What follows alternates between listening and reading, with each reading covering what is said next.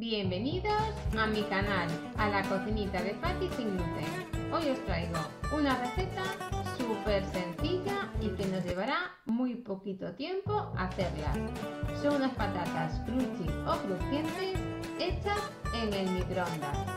El ingrediente básico de esta receta es solamente las patatas. El resto de ingredientes son opcionales. Como siempre, os dejo a continuación los ingredientes en la casilla de descripción de debajo del vídeo.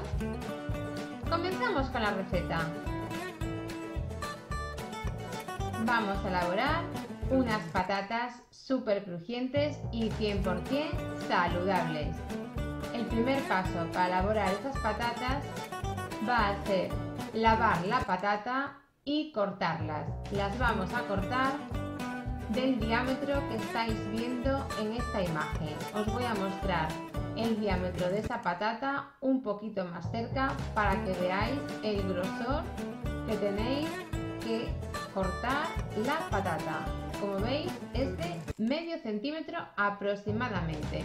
El segundo paso será lavar nuestras patatas, las pondremos a remojo durante unos minutos. A continuación el siguiente paso será secar nuestras patatas, para ello pondremos estas mismas sobre papel absorbente, encima le pondremos otra hoja de papel absorbente para que absorba totalmente la humedad. Y una vez secas será el momento de llevarlas al microondas. En este paso pondremos sobre un plato una hoja de papel de hornear, encima nuestras patatas y las llevaremos al microondas en tiempos de un minuto y después en fracciones de 30 segundos hasta conseguir la textura deseada. Y ahora las probamos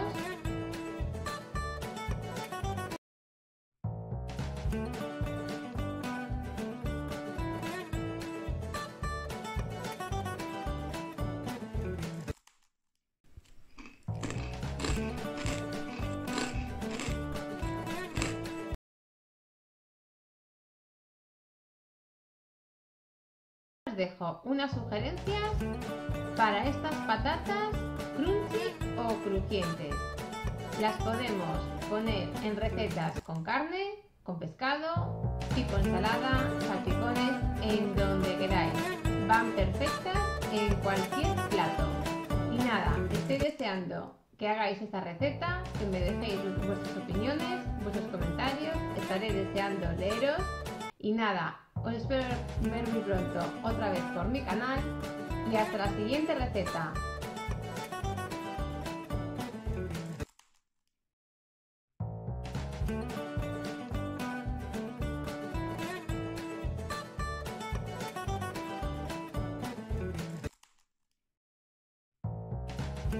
Muchas gracias por vídeos, os espero pronto por aquí, si os gusta mi canal suscribiros, no os olvidéis de dar me gusta al vídeo.